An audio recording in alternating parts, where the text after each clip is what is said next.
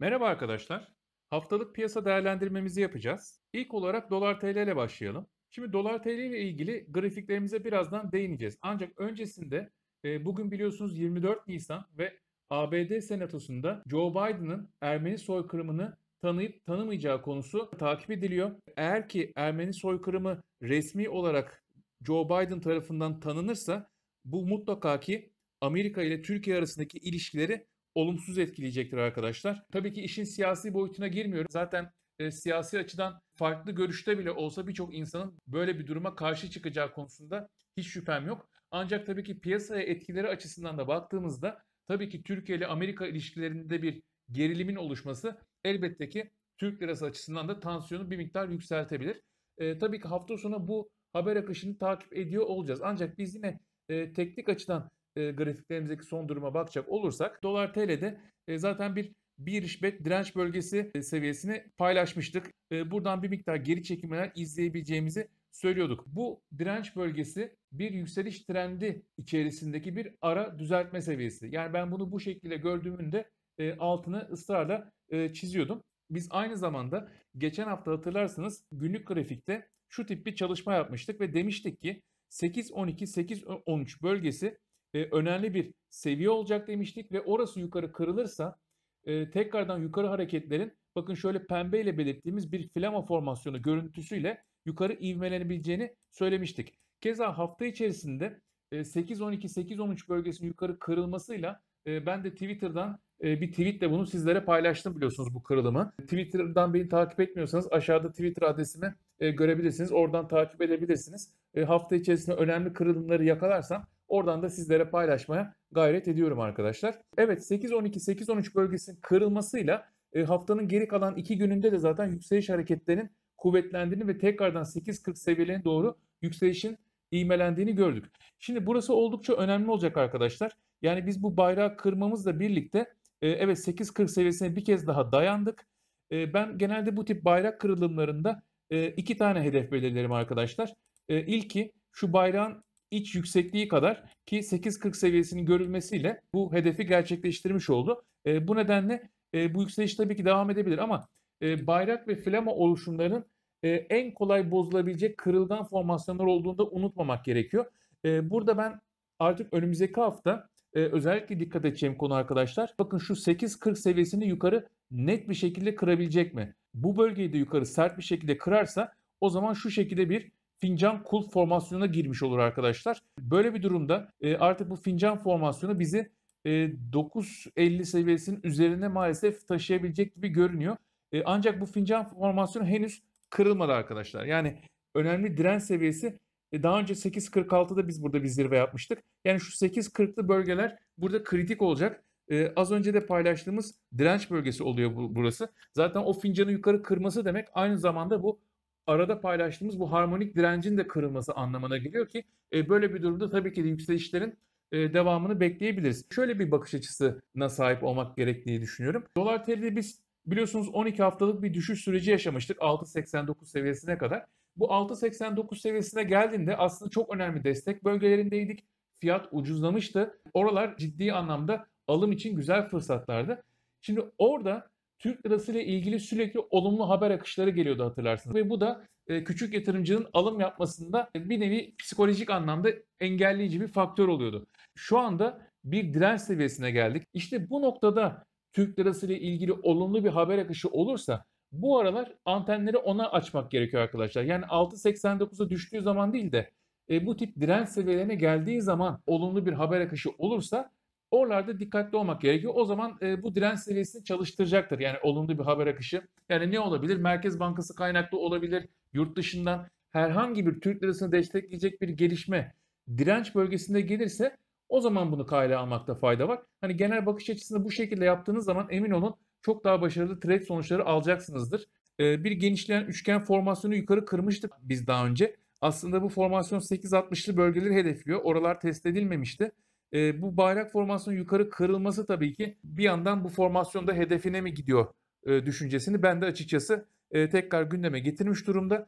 E, 8 12 8 13 önemliydi. Yukarı kırdık. Şimdi önünde 8.40 var. 8.40'ı yukarı kırarsa arkadaşlar e, bana göre yükseliş süreci e, ne yazık ki yukarı doğru devam edebilir. E, evet şimdi biz e, bir direnç bölgesini test ediyoruz. Bu bölgeyi kırarsa dediğimiz gibi zaten e, yukarıda e, 9.50 ve üzerine zorlayacak hareketler söz konusu olabilir. Eğer ki bu direnç seviyesi kırılamazsa yani bu bölgeyi zorlar zorlar bir şekilde burayı kıramazsa bu harmonik dirençleri de kıramazsa e, o zaman e, geri çekilmeler bana göre e, orta vadeli bakış açısında yine alım fırsatı olacaktır. E, baktığımızda dolar TL'nin önceki haftalarda da paylaştığımız çok önemli bir e, hareketli ortalama desteği vardı aylık grafikte. 9 aylık üstel hareketli ortalama bakın şu mavi çizgiyle belirttiğimiz şöyle bakın biraz büyütelim. 9 aylık üstel hareketli ortalama dolar TL'nin uzun vadeli yükseliş trendinde hep bizim için çok çok kuvvetli bir destek bölgesi olarak çalışıyor. E, bu 6.89'a sarktığımızda bile hatırlarsanız e, yine aylık kapanış yapamamıştık. Yani bu aşağı sarkmaya rağmen 6.89'a gelmiştik. Yine bu hareketli orderinde aylık kapanış yapmıştık. Zaten ondan sonra da yukarı doğru kuvvetli bir tepki vererek bu uzun vadeli trendin devam ettiğine dair bize bir işaret vermişti. Şimdi e, biz Nisan ayını bu hafta kapatacağız arkadaşlar. Aylık kapanış alacağız. E, ve e, Nisan ayında e, bu önemli hareketli ortalama desteğimiz zaten e, 7.70 bölgesindeydi. Şimdi Mayıs ayında önümüzdeki hafta bakarız ama bu muhtemelen tabii 7.80'lere doğru e, bir bölgeye gelecektir. E, bu hareketli ortalama diye tahmin ediyorum. Ve e, bu bize ne diyor? Artık 7.80 bölgesi hani geri çekilme olsa bile e, dolar TL'de orta vadeli trend açısından baktığımızda 7.80'in altında aylık kapanış ben artık beklemiyorum. 7.80'e kadar sarkma olur mu ondan da çok emin değilim. Bu direnç bölgesini bu hafta takip edeceğim. Ama e, artık dolar TL'de yeni dip bölgesi olmaya aday bir bölge olarak görünüyor arkadaşlar. E, 7.80 bölgesi önümüzdeki süreç için. Şimdi gelelim gram altına. Gram altınla ilgili hemen hemen her haftaki analizlerimizde öncelikle bir hatırlatıyorum arkadaşlar. Orta vadede 600'ün üzerinde bir e, fiyatlama ben gram altında bekliyorum. Onun da gerekçesini haftalık grafikteki bu Elliott dalga sayımıyla e, açıklıyorum biliyorsunuz. Ben bir 5. dalgaya başladığını düşünüyorum e, gram altının. 5. dalgaya başlaması demek şu hareketin belki e, şu 3. dalga kadar yani şuradaki kadar bir rally şeklinde değil ama e, ara düzeltmeler eşliğinde e, bunun mutlaka tabii ki ara düzeltmeleri olacaktır. Ama e, 600'ün üzerinde bir seviyeye gidecek olan bir yükseliş trendine ben gram altının girdiğini düşünüyorum. E, 470-475 aralığına kadar da zaten yükselişin devam edebileceğini düşünüyorduk. E, 475'in de bir miktar üzerinde haftalık kapanış yaptık. Bu bir kırılım olabilir mi? Haftalık grafikte baktığımızda ben özellikle 475-470 aralığı bölge olarak bir ara direnç olarak görüyordum arkadaşlar. Baktığımızda şu kapanış aslında oldukça güçlü bir kapanış gibi görünüyor. 479 seviyesinde e, bir kapanış yapmışız. O yüzden ben şimdi önümüzdeki hafta e, 475'in altında mı kalacak üzerinde mi? Ya benim için kritik pivot seviye orası olacak. E, 475'in üzerinde olduğu sürece artık bu bölgeleri kendine destek yaptığı sürece yukarı hareketler ivmelenebilir. Çünkü e, daha önce bakın şurada birçok kez e, zikzaklı hareketler var. Burası bir direnç bölgesi. Hafif üzerinde kapattık. Yani çok güçlü bir kırılım diyemeyiz belki buna. E, bu haftanın e, başlangıcıyla birlikte hareketlerin e, 470'li bölgelerin üzerinde kalması yükselişleri tetikleyebilir. Burada iki tane de harmonik oluşum var arkadaşlar. Bir alternet, bir bet direnç bölgesi vardı. E, baktığımızda iki tane günlük kapanış yaptığını görüyorum ben bu direncin üzerinde. Yani şuraya yerleşmeye başlaması ben 475 bölgesi olarak belirtmiştim bunun üst bölgesini. Şunun üzerinde iki tane günlük kapanış yapması artık bu direnci biraz zayıflattı. E, bir harmonik oluşum daha var. Ayı yengeç yani bir bir krep formasyonu da 479 seviyesine işaret ediyor. Bu dirence tutunmaya çalışıyor şu anda. Ben 475 seviyesini biraz kendime pivot olarak alacağım. 475'in aşağısındaki günlük kapanışlarda düzeltme ihtimalini bir adım öne koyacağım. Ama 475'in üst altına ısrarla inanda yukarı e, hareketleri daha da kuvvetlendirme ihtimali olacak arkadaşlar. Ona da dikkat ediyorum çünkü e, eğer ki bu direnç kırılırsa e, yani kırdıysak biz bu direnci arkadaşlar e, bakın şurada çok net bir şekilde görünüyor ki bir sol omuz, bir baş ve bu bir sağ omuz alabilir arkadaşlar. Yani buradan yukarı e, artık 475'in altında e, günlük ve haftalık kapanışlar ısrarla yapamayan bir gram altının e, 535 seviyesini buradan da e, bir toboyla bakın bir tobo formasyonuyla hedefleme ihtimali söz konusu. Özetle 600 üzeri orta vadeli hedefimi devam ettirmekle birlikte bu ara direncin de kırılma ihtimalini bu hafta ben de bu seviyeyle takip etmeyi düşünüyorum. Ons altınla ilgili Bullish Butterfly e, formasyonumuz vardı. E, gerçekten son derece başarılı bir şekilde çalıştı. E, formasyon destek bölgesi şu mavi kutuyla belirttiğimiz bölgeyi iki kere test ettikten sonra yukarı doğru tepki vermişti biliyorsunuz ve aynı zamanda e, bir ikili dip oluşumu yaparak e, 1755 seviyesinde aşılmasıyla yükselişleri e, devam ettirmişti. E, 1794 seviyelerini hedefliyorduk e, bu formasyonda biliyorsunuz. E, bu hafta içerisinde bu seviyeler görüldüğü için e, başarılı çalışan gerçekten farklı formasyon oldu. E, bunun dışında ikinci bir harmonik oluşumda bir bullish bet formasyonu paylaşmıştık. Yine Butterfly ile hemen hemen benzer bir e, destek bölgesi. E, aynı şekilde bu destek bölgesinden de e, yukarı işte tepki geldikten sonra e, şu an için ben bu formasyonda arkadaşlar e, 1820'lere kadar bir ilk hedef koymuştum. Henüz daha bu hedef görülmedi. Bu seviyelerinde görülebileceğini düşünüyorum. Yani başarılı çalışan bir e, destek bölgesinin e, açıkçası en azından ilk hedefime varabileceğini 1820'li seviyeleri test edebileceğini düşünüyorum. E, ama tabii baktığımızda e, bu tip formasyonlarda arkadaşlar girmeniz gereken bölgeler bu destek bölgededir. Eğer ki kar aldıysanız bir şekilde piyasadan çıktıysanız veya e, alım yapmakta geç kaldıysanız artık şu kadarlık bir mesafe için buradan bu riski almak çok mantıklı olmayabilir. Yani onu da belirtmekte fayda var. E, dediğim gibi formasyonun destek bölgesi alım olarak e, değerlendirilmesi gereken bölge e, mavi kutuyla paylaştığımız bölgeydi. Şimdi burada e, evet ben ilk hedefi olan 1820'lerin de test edilebileceğini düşünüyorum. Evet benim orta uzun vadede bu şekilde bir Elliott sayımım var. Ben 4 nolu bir düzeltme dalgası içerisinde olduğumuzu düşünüyorum diyordum.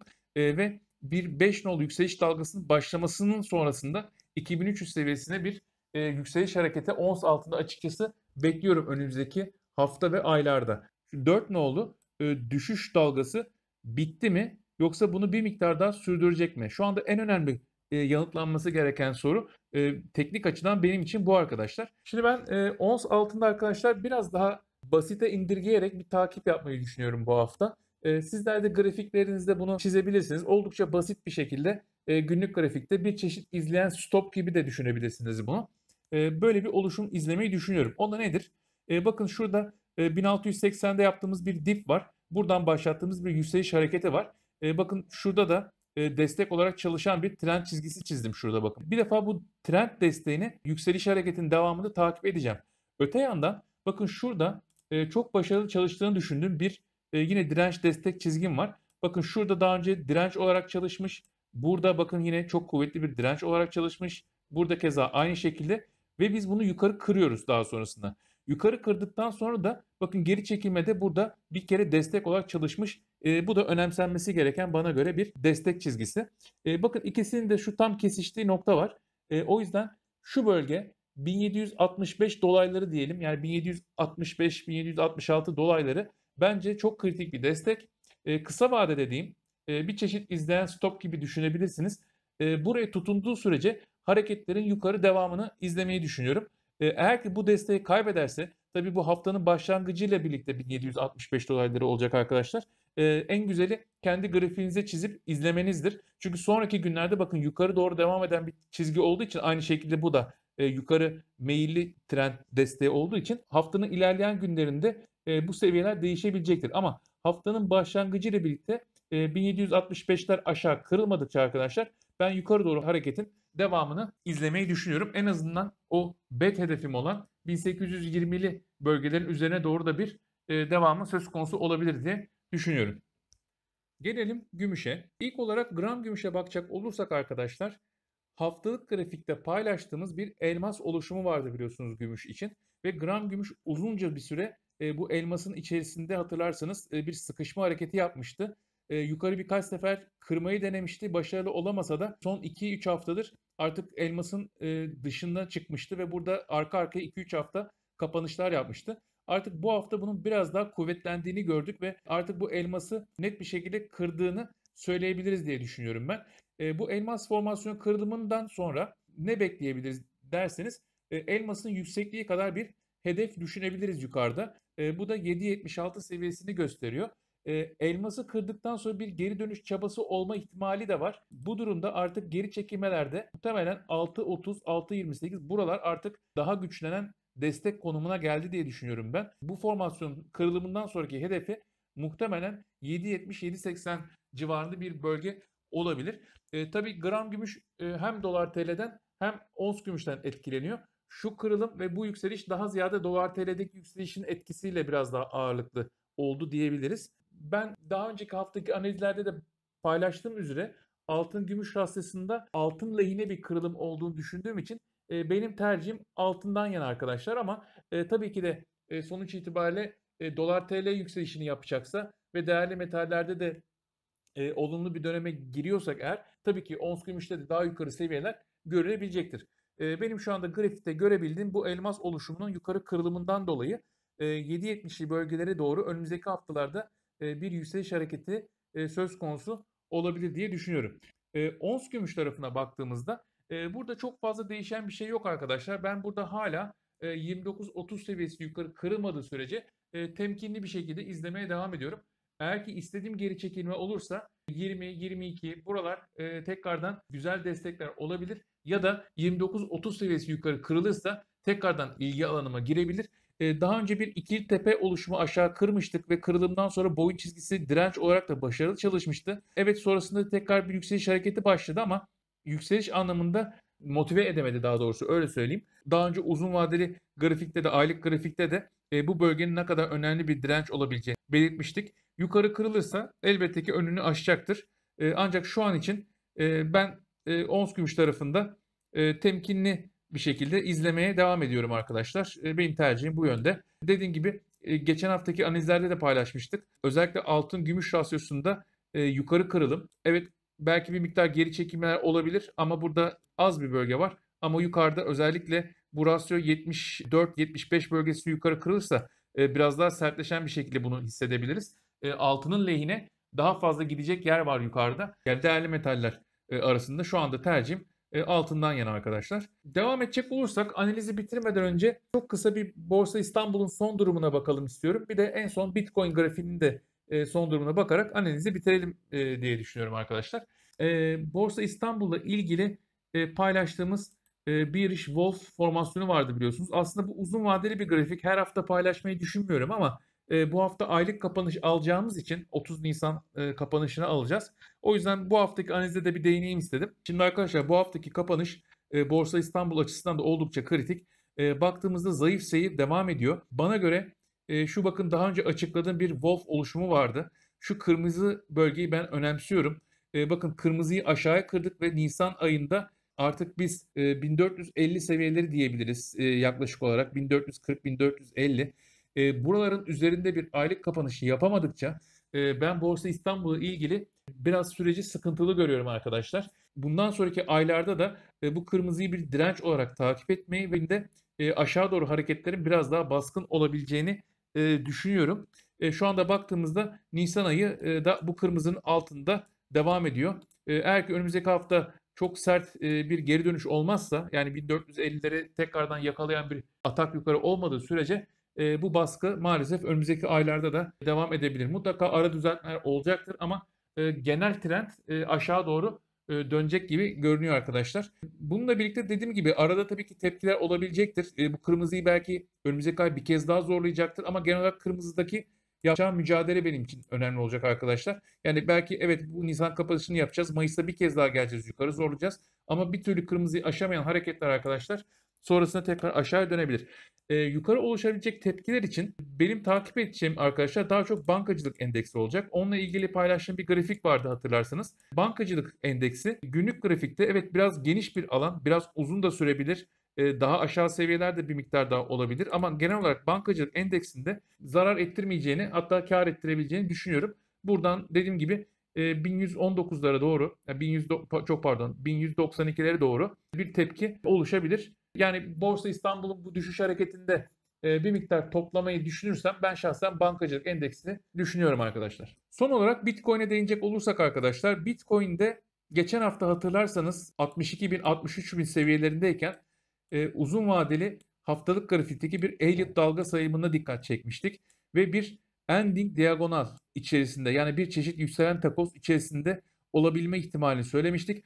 67-68'lere doğru uzatabilir ama buraların zirve olmaya aday bir bölge olduğunu söylüyorduk. Keza biz analizi paylaştık. Birkaç saat sonra hatta yani sabahına sert bir düşüş geldi e, Bitcoin'de. Bu sert düşüş bana göre bir düzeltmeden ziyade e, bir 5 nolu dalganın sonu olabilir arkadaşlar. Bunu geçen haftaki analizde de ben e, belirtiyordum. Tabii ki bu benim görüşümdür. İlle doğru çıkacak diye bir e, şart yok. Benim kendi analizimdir arkadaşlar.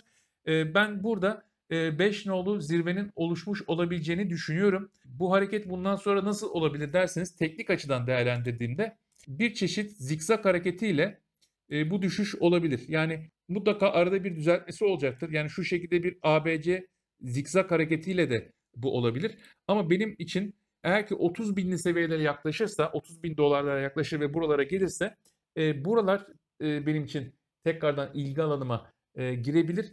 Öyle bir durumda çünkü şuranın bir 3, bakın şuranın bir 4 ve yukarıda bir başka 5 e, dalgası oluşturabilecek bir süreçte olabileceğini düşünüyorum. Yani e, henüz daha belki erken ama e, 30 bin dolarlara gelebilirse oralar tekrardan daha yukarı zirveler için yani şu anda yaptığı bu 60 binlerdeki zirvenin daha da yukarısı için e, güzel bir destek olabilir. Ama e, birkaç hafta birkaç ay diyeyim hatta e, bu düşüş sürecini 30 bin dolarlara kadar ne kadar sürede düşeceğini göreceğiz ama e, oralara bir süreç başlamış olabilir. Yani bir düşüş trendinin başlangıç aşamasında olabiliriz diye düşünüyorum 30 bin dolarlara kadar.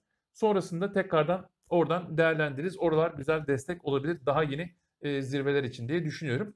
E, hafta içerisinde arkadaşlar bu anlattığım grafiklerde e, net kırılımlar olduğunu düşünürsem onları da Twitter hesabımdan sizlere yine paylaşmaya çalışırım. Beni dinlediğiniz için teşekkür ediyorum arkadaşlar. Bu haftaki analizimiz bu şekildeydi.